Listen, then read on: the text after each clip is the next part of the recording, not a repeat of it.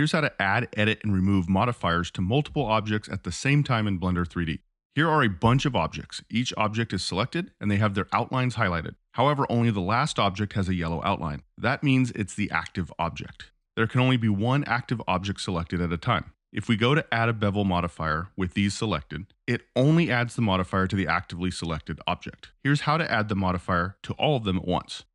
If, when we click the modifier we want to add, right here, we first press and hold Alt on the keyboard. It adds the modifier to all selected objects instead of just the active one. But wait, there's more. Also, don't forget to like the video.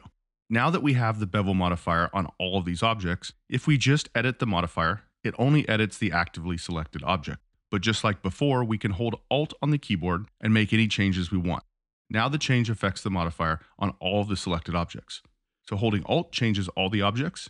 Not holding Alt just changes the active object. Now if we want to delete the modifier, clicking this X only deletes it from the active selection. And you've probably guessed what comes next. Holding Alt and then deleting the modifier deletes it from all of the selected objects.